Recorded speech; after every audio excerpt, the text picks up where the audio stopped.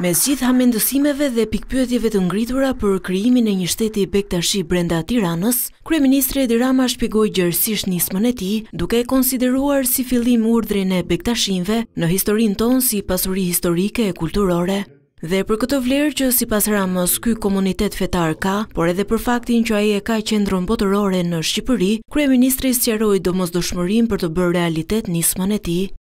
Ky komunitet është një urdhër që mbahet me mundime të mëdha dhe që e ka kapacitetin e rrezatimit shumë të ulët për shkak se kaq fuqi ka. Tani kemi ne interes kombëtar që ta ruajmë këtë pasuri? Apo t'ja lëmë fatit edhe, po ju them unë, për pak dekada, do të ketë njerëz të zakonshëm që do t'i përkasin për shkaqe historike, por nuk do ketë më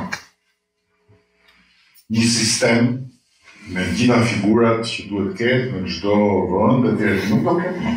Që iniciativa e tij të marrë udhë, kryeministri nënvizoi se çdo hap do të jetë konform Kushtetutës.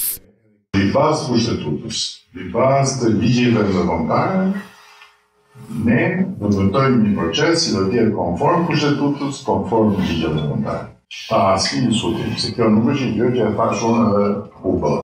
Para shoqatave shqiptare në Amerikë, Edi Rama ktheu përgjigje për të gjithë skeptikët që gjatë këtyre ditëve kanë përhapur tezën që ky është një plan i Serbisë. Që të kuptohet mirë biseda, unë do t'ju sugjeroja kujtdo ndër ju që është interesuar edhe kujtdo tjetër që është interesuar, të hapi librat e historisë së Urdhrit Bektashi, ta fillojmë me Bekashin, nuk besoj që ka qenë atje.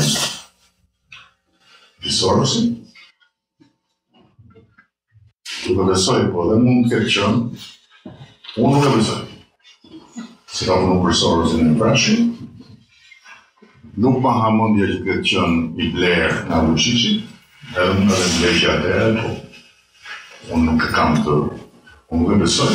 Për përfaqësuesit e komuniteteve të tjera fetare që gjatë këtyre ditëve kanë pretenduar se kanë të drejtën për të pasur shtetin e tyre njësoj si bektashinjtë, Edi Rama shpjegoi se kjo kërkesë nuk qëndron, sepse ata i kanë qendrat e tyre që janë pjesë e rrjetit botëror.